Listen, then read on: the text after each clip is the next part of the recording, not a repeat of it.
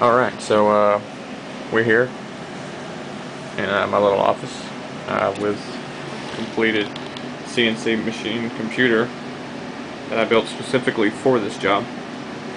Uh, and a lot of crap on the floor. Don't mind that. Uh, just here, been pulling up uh, Mach 3.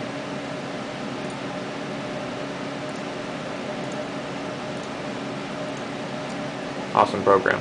Works so great. Wouldn't do without it. But I'm going to set the camera down here as I uh, plug in all the motors and get everything set up to show a demonstration on how the motors spin, how, the, how it runs it, all that good stuff.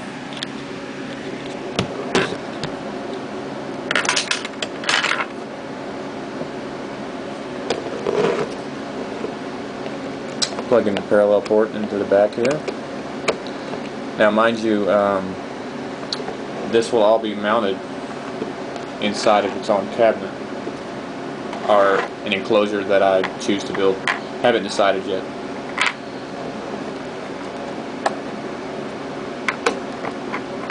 We got spindle power. I don't have the spindle hooked up just yet, but I have tested it and it does work. It's just a simple relay with that can handle up to 36 volts and I'm only pushing uh, 24 in. So uh, here we go. Going to apply power to my power supply. And we're going to get it up and running.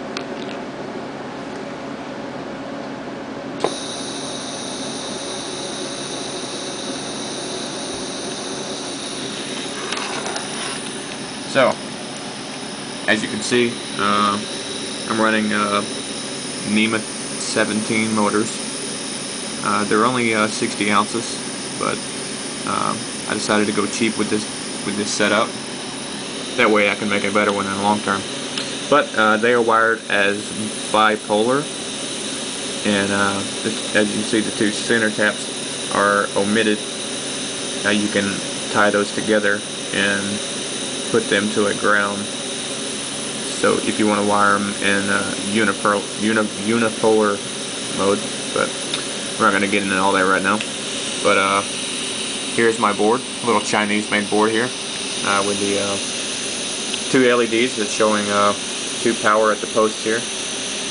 And uh, there's three LEDs next to that that show x-axis, y-axis, and z-axis movement. also, a serial connection mainly for uh, you can plug in uh, game controllers, joysticks, MPGs, things like that uh, if you want to control it manually. And uh, this little white plug-in here, that is for uh, your limit interface and your e-stop. Uh, this one here is actually for, um, if I'm not mistaken, I think it's for the MPG, and the serial is for gamepads only. Uh, the three uh, micro stepper driver uh, micro steppers that are located underneath the uh, heatsink and fan. Uh, they're Toshiba models, and uh, I think I think they work very well with these small motors. But I heard they do very well with larger motors. But I'm not going to get into that until I get to that point. So, along next to it is the 24 volt power supply. Uh, simple, 24 volts uh, out, 120 in, um, 10 amps maximum. Um, it's really simple. Uh, I bought it, bought it off eBay, just like everything else here. Uh, but very happy with all the setup. So very professional. So here we are. We're going to do a little test here, and I'm going to let you get on your way so I don't bore you.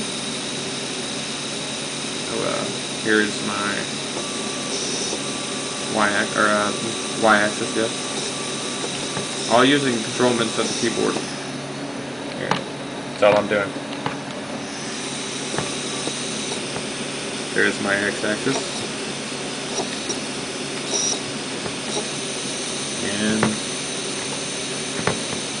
my Y axis.